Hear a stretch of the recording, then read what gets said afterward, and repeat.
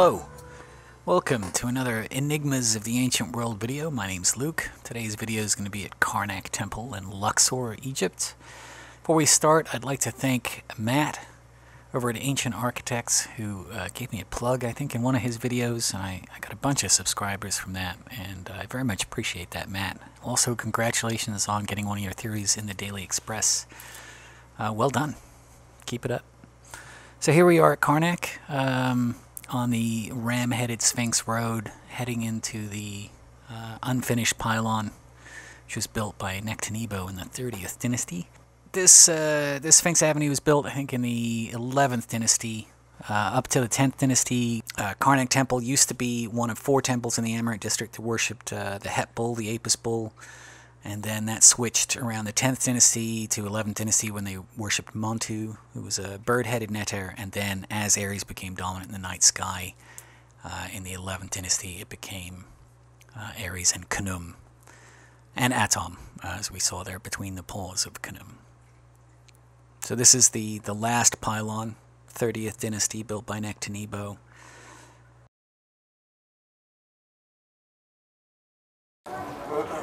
So Luke Yes, sir. and everyone, these are the ram roads like the one we saw drawn in the wall Right. in the tomb of Rakhmara. Look at the size of the block, look at the material. Yeah. And this is how the dynastic Egyptians used to build their stone structures. No scaffolds, but the ram road from mud brick. So, uh, it's a very basic uh, premise. I'll actually take you to the Tomb of Rakhmara and show you that stuff in a second. But you can see uh, the Middle and Late Kingdoms is a very common building technique. You can see here one pillar that is unfinished. Oh, yeah. How they build it from sections, and then how they smooth it later to be with the rest of the shapes like Right.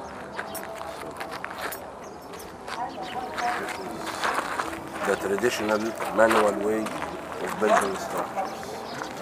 Which is of course not what everything we're gonna see here is made that way.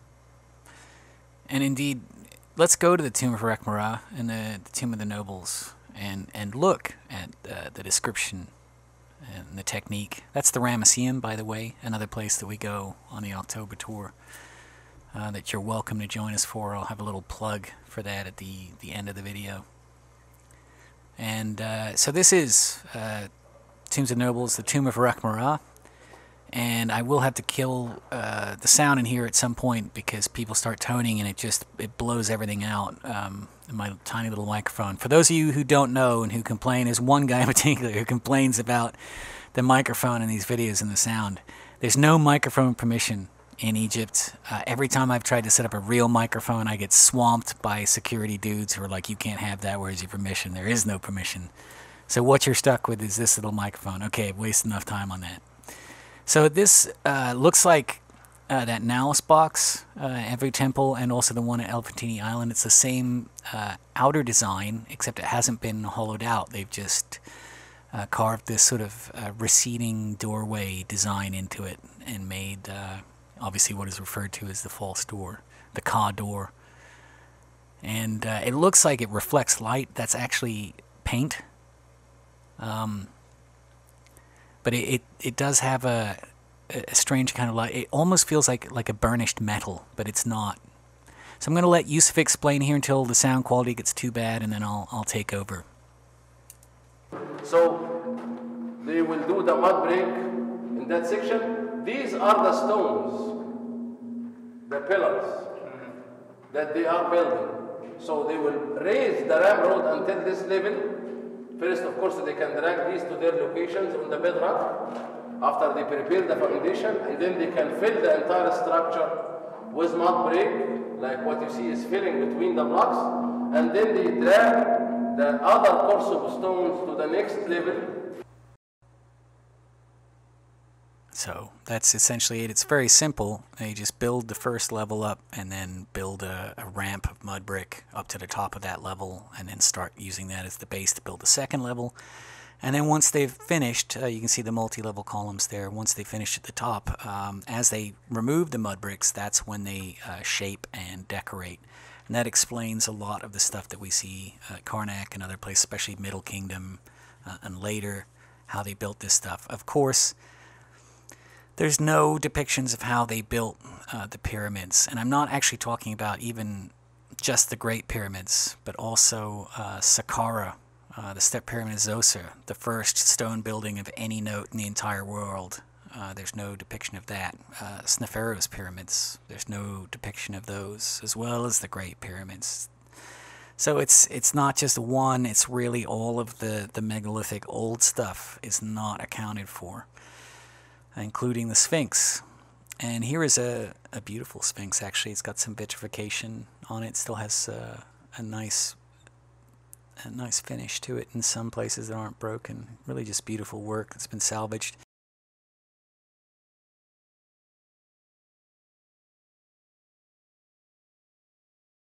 So these are some tool marks that Yusuf was pointing out on uh, this alabaster piece, which is probably um, a pedestal. If you've seen some of my other videos, you know Yusuf likes to talk about uh, the different types of stone, uh, whether they um, or insulate or whether they conduct electromagnetic energy.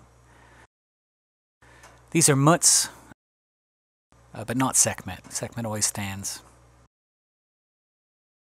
As I showed you, some of the that this design Yeah.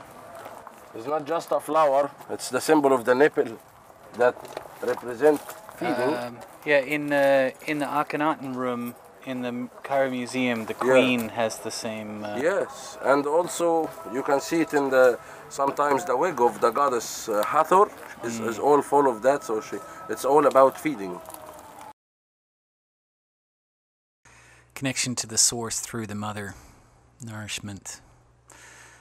And uh, yes, so before we get into this next part, I want to talk about the Book of the Gates for a second. Uh, the Book of the Gates and uh, actually the Book of the Duat is much more interesting than the Book of the Dead, um, which just has a more more interesting name. These, uh, what we're looking at here is a symbol that looks like a lava lamp on its side with a little circle. Um, these are always around dimensional gateways gateways uh, that the pharaoh or the deceased would have to pass through before he would face the next task or uh, be judged in some way or need to defeat uh, an entity. And uh, that's the symbol. You see them around gates all the time. So we entered this little red chapel, which I was unaware of its existence. And the first thing I notice is this basin with the gateway symbol all around it. And then as I'm looking, I see these uh, incredible gateways and also Yusuf Awyan, International Megalithic Man of Mystery. Uh, but anyway, I see these incredible uh, granite, granodiorite doorways, uh, multi-piece, but really incredibly machined and interlocking. We'll go and look at the one in the back here in a second. And the redstone is quartzite, the original redstone. And this has been reassembled and put back together, and Egyptologists don't really know what this is for. But look at the gateway symbol. It's on the stones all the way around the base. It's on the stone around this pedestal right here. You've got a very interesting pedestal right there with uh, some kind of fluid that would come out and go under this doorway and under those stairs. You have something that looks like it's swung in to that and locked in this part. Um, if you've been to Ollantaytambo and seen some of those doors at the temple at the top, you'll notice these are kind of put together in a similar fashion the way they're cut. What this slot is for, I don't know, but I think something slotted into there and came out as it was rolled through the grooves at the bottom. You've got tube drills for hinges. This is granodiorite. This is absolutely massive. They've reassembled this at some point. They don't really know much about these temples. They were destroyed. It has the gateway symbol all the way through it. So what did the Egyptologists say? Ah, it's for LARPing, live action role playing. Uh, the priests would make a little model of the solar boat and they'd put it on that pedestal symbolizing going through the gateway, and then they would walk it to the next temple. So either you believe that they were LARPing in this temple, or perhaps there was something else going on. I don't know. So here we're looking at a, a tool mark in the uh, groove there, the center, the corner, inner corner. It goes all the way up in there. It's just one tool mark, not a chisel. Kind of interesting. You see that a lot. And these hieroglyphs in this uh, white temple some of the most detailed hieroglyphs uh, in all of Egypt. Maybe only the Crypt of Dendera is quite as detailed and as nice. Look at the door. Look at the, the locks on the door, as well as all that sort of cross hatching. Just beautiful. So back out into the uh, hypostyle hallways, the open open museum of Karnak, as they call it, and uh, here are the sectioned columns. So now we know how those were built. We just saw that, and it's very interesting. There's not much mystery to it, but the what it produces is still magnificent. And if you can imagine coming in, you know, from the from the desert, from maybe your little village where you've lived with the goats all your life, and you come in and this is the city and the big temple here, and this is all painted, multi-level, megalithic. Just must have been absolutely mind-blowing uh, for travelers and natives alike. It's still mind-blowing now, and uh, so you can only imagine what it must have been back then when this was just beyond what you know many civilizations had been able to accomplish that we remember anyway. There's an excellent book on Karnak Temple called Temples of Karnak by R.A. Schwaller de Lubicz, and I highly recommend it. It has some beautiful, detailed black and white photographs as well as many descriptions and untanglings of the esoteric meanings of the ancient Egyptians, and his work inspired and informed John Anthony West, whose work inspired and informed Graham Hancock, whose work inspired and informed me, and I'm sure most of you watching this video. Uh, so uh, it's really worth checking out all of Ari Schwaller Lubicz's books, actually. And here's uh, Hatshepsut's obelisk. Um, that's her writing in the middle and Tutmosis on the sides. This is the largest uh, freestanding obelisk still in Egypt today and it's one piece, weighs just over 400 tons uh, from red granite. And if you remember, if you saw my uh, Aswan Quarry video, you'll remember how supposedly the official story for the unfinished obelisk is it broke as they were cutting it, and Hatshepsut said, "Come on, guys, let's get real. This is embarrassing. Only normal size obelisks from now on." And so this is what they came up with, and they never again tried to build a larger obelisk. So that's the story, and they're sticking to it. And now, It's the largest tube drill ever found. Oh my God. Not full, of course. It. So you can see that the edge going deeper, which shows that this was carved by tube drill with the same lines that we have seen in the pyramid structures. wow. So there is a layer here that goes back to the same era of the pyramid builders. We can see the same result, the same combination of stones. Even if it was recycled more than once, still we can see the things. Mm, If we complete the circle, it will be more than 20 centimeter wide. Oh, little bit more than 20 centimeter, I think. Or around 20 centimeter. But if you look at the edge here, it's very thin. See that? Yeah. This is how thick the blade was. So imagine a tubular drill that is this big and the blade of it is that thin, is capable of cutting granite stone with that smooth surface.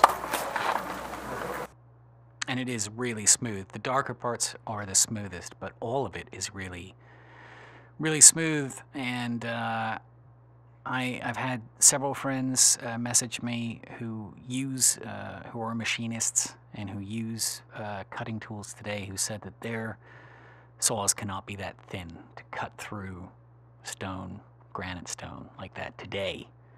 So I can only imagine what the ancient Egyptians had had figured out. And I'm just I'm blown away by the size of this. I don't care what Freud has to say. Most of these tube drills are, uh, you know, usually like a soup can. Some of them are, are quite small, like a flashlight maybe, um, or a sharpie. Uh, but most of them are about the size of a soup can. And then there's this one, which is like a, a, a can of paint, like just unbelievable. There are a lot of other tube drills at um, Karnak. Most of them are for hinges in the older megalithic uh, doorways. Um, and if you, you know, if you look, you will see them everywhere. Once you start looking for them, they're they're everywhere.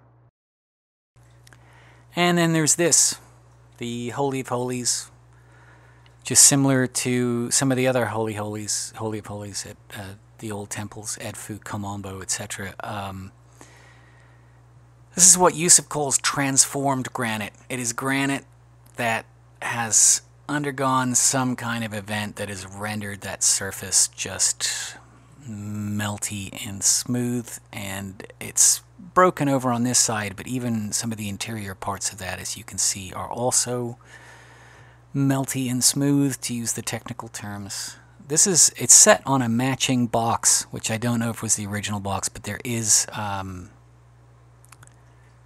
uh, a cavity in there. And I, I don't know if it's that's what it's been set on or if that was part of the original piece.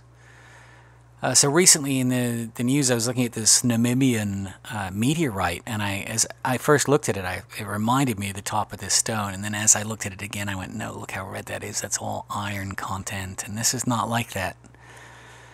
This is this is granite. So it just looks like it's been subjected to entering the Earth's atmosphere. Uh, and if you watch, it's just people are drawn to this. They just want to rub it uh, everybody who, who comes past this has to uh, spend a little time rubbing it. But definitely some kind of uh, heat event is all I can imagine. Uh, unless, again, it, some kind of smoothing liquid that they spilled everywhere after it broke. I don't know. I don't know what this is. But it's heavily vitrified. It's even more vitrified than some of the, the stuff in Cuzco uh, inside the temples, the little cave temples that they have there. Before we leave this room, let's have a look at the ceiling. Uh, it's a very massively megalithic ceiling. Uh, you can still see some of the blue paint and the stars. There's actually that gateway symbol at the very top around that center area as well. You can see the double layer and the hieroglyphs on the side here, very blue-green, which may suggest they actually had copper inserts that have oxidized tube drill marks there for hinges in the doorway. And then as you come out, look at these uh, beautiful palm, uh, high relief palms on the inside of those columns. Just amazing and uh, obviously stunning today, but how stunning was it thousands of years ago? So these are these are cartouches of, of the kings who did renovation at this site. Yeah. And we have Seneferu's name? We have Seneferu's name, the first name up there. The one to the left. Yeah. You have Sahura.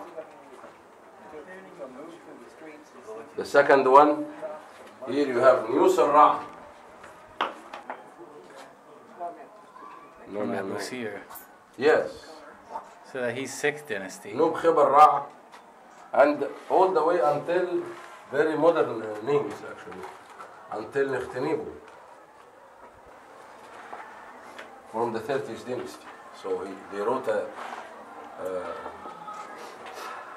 all the kings list of those who renovated the site. We have the names from the Middle Kingdom here, Entif, but the cartouche is not complete.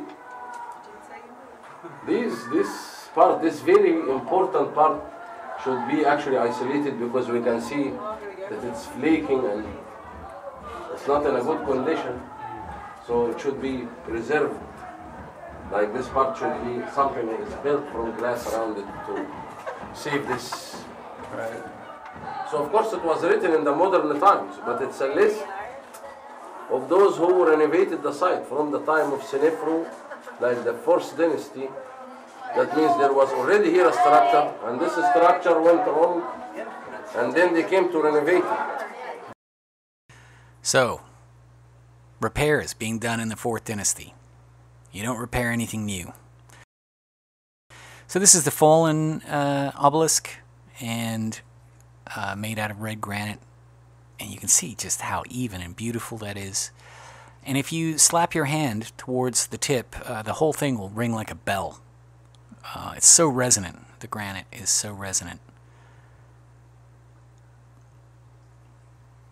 Here's another another pylon with the crane behind it. I bet the Egyptians wish they had a crane. And just so many beautiful little temples here you can go into, and some still have really uh, surprisingly high amount of, of paint and color still on the walls. That Egyptian blue, the first culture to really discover how to create blue as a, an artistic color.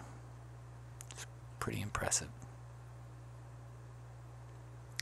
Okay, we're going to take a, a look at a really interesting tool mark in this stairway on the way down, but you'll notice here there's the walls here are just covered with black soot or something, some kind of material.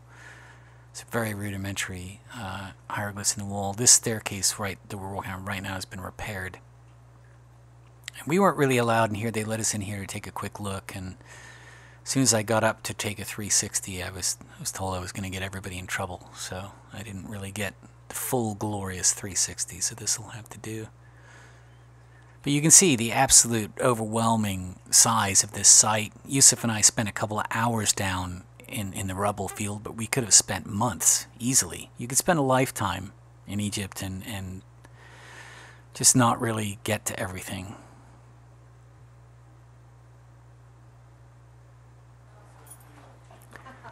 So as we go down, take a look here. Right behind Yusuf, you'll see a couple of uh, keystone cuts there holding the stairs the old stairs in place. And again, this black funk everywhere. And then as I pan right and down, you'll hear me say, wow. Wow. And what I've just seen is this tool mark right in front of us. Uh, there's two of them. There's one that looks like a mistake or a slip, and then just that large, deep, semicircular cut. The upper part, is hard to tell, is recessed about an inch behind the lower part. And I don't know how deep that is, but it looks quite deep. And I, I don't know the purpose of that, and I don't know the tool that did that. Uh, that's something we're going to look at in closer in October. Get a, a, a really good flashlight up there and a zoom and uh, check that out. I want to I want to know more about that. that we find here. Oh, excuse me. Excuse me. And it's about the same kind of fine lines like here, is like there. So my question as a stone carver, why they didn't use the tools that they made these fine details with here to do the writings? The writings are never as good as the artwork and detail on the actual object. This is conglomerate. You can see the flint. And I want you to come and feel how smooth this is, Luke. This is part of the skirt, of course, the dress. Oh, that's really smooth. Mm. That's, yeah. In a very rough type of a stone. Coarse as. Even like the flint part is smooth. Exactly. That's very So there is a difference between the fine details in the art and the fine details in the writing. And this is back in the Red Chapel again. So they were not able to shape the same good parts like over here hmm? Yeah. and over here and over here. Every part of the details that hit one of them flints, it was not completed with the same sharpness. And just ignore uh, that sperm coming from the star. Just ignore that. You didn't see that.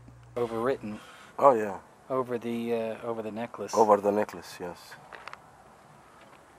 So once you start uh, to realize this, you see how much of writings were added on top of older things. Yeah. As I told you in the beginning, we have overwhelming amount. Yeah. It's not like one piece or two or ten.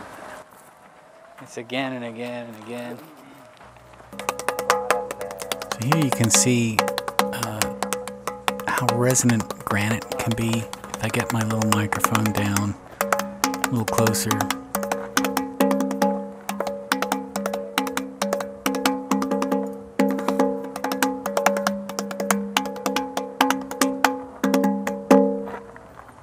And that's what that column sounds like when you smack it. It's almost like it's hollow.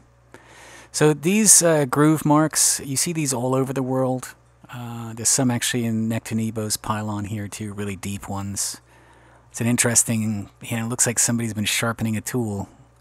And of course, these uh, keystone cuts. A lot of people put a lot of importance into keystone cuts, but in Egypt, uh, I don't find them to be too exciting, and that's because that magical fourth dynasty, where they were able to do anything in any stone they wanted, no matter how large it was. You know, they fit together these pieces like jigsaw puzzles, um, and they didn't need any keystone cuts. Everything was perfect.